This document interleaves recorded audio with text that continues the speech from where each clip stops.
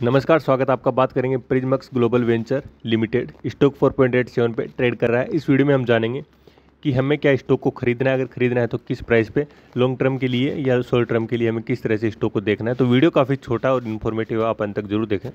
तो सबसे पहले अगर आप देखोगे मार्केट कैप कंपनी का वन करोड़ का। और इसके अलावा जो स्टॉक की करंट प्राइस है फोर हाई जो स्टॉक ने बनाया वो है सेवनटीन का। स्टॉक पी फिफ्टी डिविडेंड देती नहीं है company R point seventy nine percent intrinsic value point ninety seven और यहाँ पे डिविडेंड कंपनी नहीं देती है तो R O point seventy nine percent है।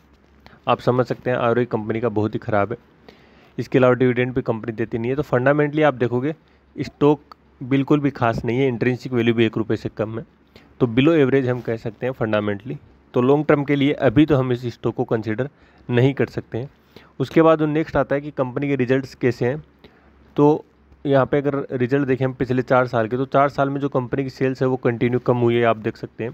पहले तीस थी, फिर बाईस, फिर सात और फिर आठ। तो यहाँ पे कंपनी की तीन साल तो कम हुई, फिर एक साल यहाँ पे थोड़ी सी सेल्स बढ़ी है। तो कंपनी की सेल्स है, वो बिल्कुल भी नहीं है और कंटिन्यू कम होती जा रही है। उसके बाद बात करते हैं प्रॉफिट की तो प्रॉफिट अगर आप देखोगे, यहाँ पे सैंतीस लाख था, फिर सत्तानवे, फिर एक करोड़ चौंतीस लाख और अब की बार मात्र चौंतीस लाख। तो कंपनी का प्रॉफिट है, वो शुरू के तीन साल में बढ़ा, लेकिन फिर यहाँ पे कम हुआ। तो यहाँ पे ऑपरेटिंग प्रॉफिट मार्जिन और टैक्स ने भी बहुत कुछ काम किया है।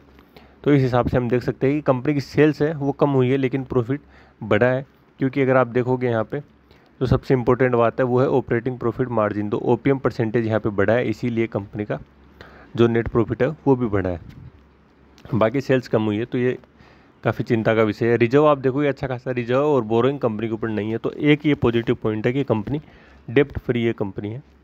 और डेप्टर डेज़ यहाँ पे देखोगे अभी 50.22 है तो डेप्टर डेज़ भी बहुत ज़्यादा है कंपनी पे। प्रमोटर आप देखोगे तो 1.40 परसेंट जो होल्डिंग है, वो प्रमोटर के पास है, बाकी सब पब्लिक के पास है। और प्लेज शेयर भी अगर आप देखते हो तो यहाँ पे बी इंडिया की ऑफिशियल वेबसाइट पर आप देख सकते हो, किसी भी कंपनी के, कि कंपनी का प्लेज शेयर है कि नहीं। तो इसके लिए यहाँ पर आपको क्या करना है, यहाँ पर आपको जाना है शेयर होल्डिंग पैटर्न में। नॉर्मली यहाँ पर नीचे प्रमोटर प्लेज होल्डिंग दिखाता है, लेकिन कई बार यहाँ पे इन्फॉर्मेशन रॉन्ग रहती है तो इसके लिए आपको बिल्कुल एरो के निशान पे क्लिक करना है। और यहाँ पे जैसे आप देखोगे तो ये नीचे से तीन नंबर पॉइंट है, इसके अंदर आप देख सकते हो कि प्रमोटर का कोई शेयर प्लेज है तो नो ऐसा यहाँ पर दिखाया गया है कि कोई भी शेयर यहाँ पर प्लेज नहीं है। तो आप देख सकते हो इस तरह से कि कंपनी है, वो अभी एम लिस्ट में है। इसके अलावा फंडामेंटली कंपनी बिल्कुल भी ठीक नहीं है। और नंबर दो, बैलेंस शीट कोई खास नहीं है। कंपनी की सेल्स बिल्कुल कम हो रही है। प्रॉफिट बढ़ा है, लेकिन अगर सेल्स किसी भी कंपनी की कम हो रही है तो वो प्रॉफिट ज़्यादा टाइम तक बढ़ नहीं पाएगा, ये भी आपको पता है। प्रमोटर होल्डिंग नहीं है तो आप इस स्टॉक को लॉन्ग टाइम के लिए तो बिल्कुल भी कंसिडर नहीं कर सकते।